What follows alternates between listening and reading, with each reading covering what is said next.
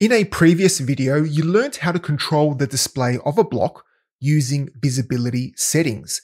And Drupal out of the box comes with three conditions, content types, pages, and roles. But now I want to show you how to use a third-party module called Block Visibility Groups. The module allows you to group visibility settings and assign them to blocks. This makes managing visibility settings much easier because you can do it from a single page. And the module allows you to control whether all conditions need to return true or only one needs to return true.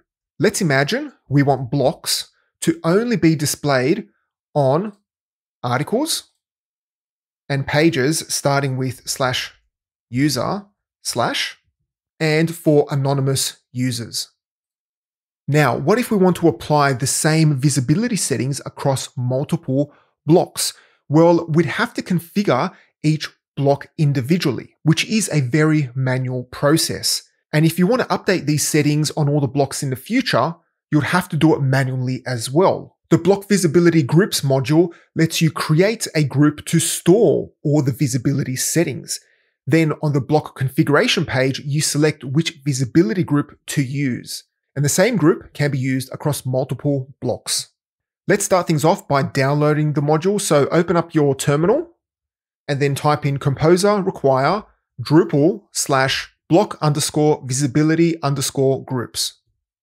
Then go back into your site, then go to extend and search for block visibility groups. And then check the module and click on install. Now go to structure block layout, and you should see a new tab called block visibility groups. From here, you can create new visibility groups and you can also manage existing ones. Now let's create a group that will allow us to display a block on article content types or if the path starts with slash user slash. So it's one or the other. We can't implement this functionality with just the visibility settings because all conditions need to return true for the block to be visible. Whereas in this case, we only want one to return true for the block to be displayed. So to create a group, click on add visibility group, then in label, enter in article, then plus, then user. And from this checkbox, allow other conditions on blocks. This allows you to add other visibility settings after you've selected a group on the block configuration page. Normally, once you select a visibility group on a block, you don't add in other conditions, but this gives you the option to add in other visibility conditions. And then below that, we have two radio buttons. The first one, which is all conditions must pass. That means all the conditions must return true. And then we have the second option, which is only one condition must pass, which means only one of the conditions has to return true. Now, for this example, we'll select only one condition must pass and then click on save. Now let's edit the group. So click on edit and to add a condition, click on add condition and click on node bundle, which is the same as content types. Then check article and click on add condition. Click on add new condition again. And this time select request path, which is the same as pages and then enter in slash user slash and then asterisk, then click on add condition. Once you've configured all of the conditions, click on save. Now let's go to block layout and scroll all the way down to sidebar first, click on place block, and let's add the powered by Drupal block back in. And now we can see a new option called condition group. And from this dropdown, we can select our visibility group. Once everything's been configured, click on Save Block. And let's move the Powered by Drupal block to the top, scroll down and click on Save. Let's go back to the block that we just added in. And you'll notice that we cannot see the other visibility settings. And that is because if we go back to our group, the reason why we can't see the other settings is because we haven't checked allow other conditions on blocks. If you still want to have access to the other visibility settings on blocks, then check this checkbox.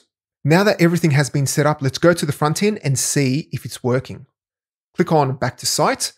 And from the homepage, we cannot see the block, which is correct. But if we click on latest article, we should see the block. Here we can see it on the left. And if we click on my account, we can see the block here because the path starts with slash user slash. So the group is working correctly. Now let's go back to structure, block layout, and you should see this drop down called block visibility group. And it allows you to filter the blocks on this page based on the visibility group they are using. By default, all blocks is selected, and this means we can see all of the blocks on this page. But if we were to select article plus user, which is the group that we created, we can see all of the blocks and then we can see exactly which group a block is using. And here you can see the powered by Drupal block is using the article plus user. If we scroll back up, from here we can add in extra conditions to the group. And from the group settings, we can go directly to the edit page for this group. And if you uncheck show global blocks, it'll then only show the block which is using the article plus user group. So this is a good way to see all of the blocks which are just using a specific group. Then if we scroll back up and select global blocks, this will show us all of the blocks that are not using any groups. The last thing I want to show you is how to use the block visibility groups admin submodule. Let's go to extend, then search for block visibility groups and install the block visibility groups admin submodule. And let's go to the front end.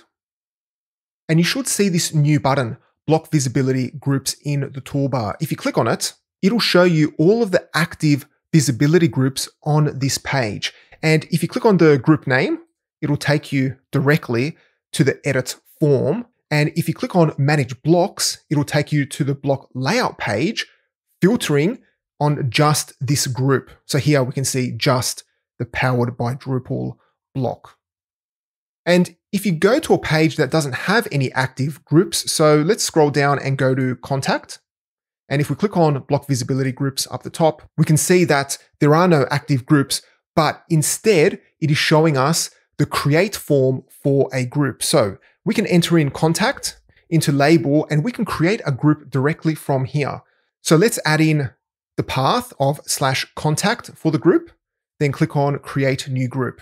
And now we have just created a new group just for the contact page.